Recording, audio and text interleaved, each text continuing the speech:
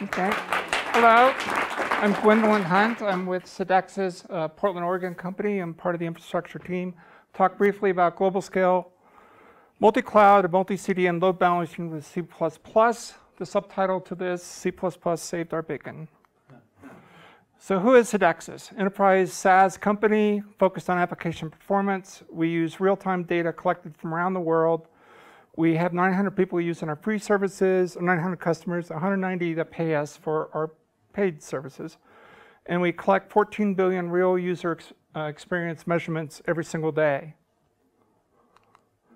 Okay, the way we collect it is through a uh, mechanism called uh, real user monitoring. Essentially, we put a small JavaScript tag, what the industry calls it, on every web page, and that communicates when it executes with various data collection um, servers that we get information for latency, throughput, um, a bunch of stuff about video. Um, we, it's totally free as far as the radar is concerned, a lot of people can use it. You just sign up for it.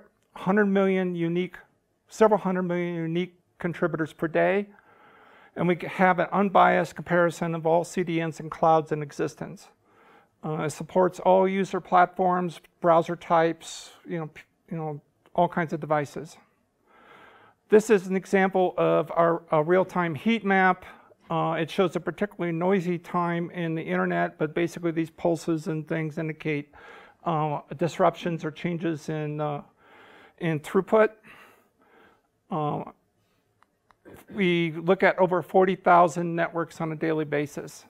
Uh, this is built for today's dynamic infrastructure, a combination of hybrid cloud, and that what that means is a, uh, a customer may have their own data centers, but they augment by using uh, public clouds like AWS or Azure, uh, multi-CDN. Companies use more than one CDN like SoftLayer and, and, and um, Edgecast and Level 3, or hybrid architectures with a combination of all, and some customers build their own CDN equivalents. Okay, OpenMix is what we make our money on, and this is what does the, glo the global load balancing. We take the input from Radar, and we could take some optional third-party input through this um, feature we call Fusion.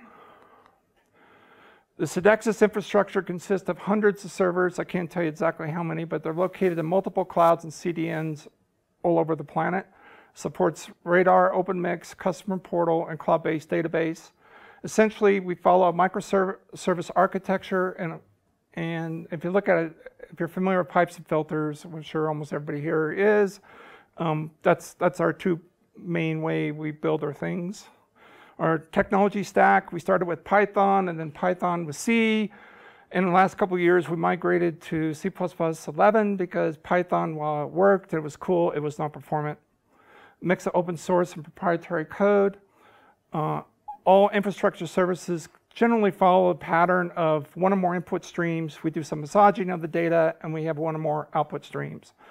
We use HTTP protocols, zero MQ messaging for, and the prevailing contents either protobuf or JSON. Our core async engine is libevent plus Facebook Folly. Um, Facebook Proxygen we use for the server-side HTTP, libcurl in our own C++ wrapper for the client side. We execute some client-side JavaScript in V8 containers. And we have a bunch of database APIs for BigQuery, ClickHouse, and S3. We put a lot of data into Google's BigQuery. Uh, working context, we have very large hash tables that span many gigabytes, and that's for collecting all the score information from the real-time data. We're multi-core aware. Um, we generally do a thread per core, and we have minimal locking, and the way we do that, every single thread has a complete copy of the full context, the work context so we consume a lot of room, uh, RAM. we measure things and decisions by uh, a second. Some servers typically do 35,000 decisions a second. We do see servers do 100,000. We got a couple that do a 200,000 decisions a second. That's five microseconds. And the a typical example would be a DNS query comes in, we look up all the different endpoints, we gather all the scoring information, send it to the to the scoring engine, make a decision, and send back the response. And that's five microseconds. Uh, challenges for a global company. Um, we're 70 some odd people, headquarters, half of us are in Portland, a big office in Paris, London, New York, and San Francisco. We're a small engineering team. That's a challenge. There's only 20 of us that are not including SEs, and it's really hard to simulate the world. okay. Any questions? yes, we are. Yes, we are. Yes, right.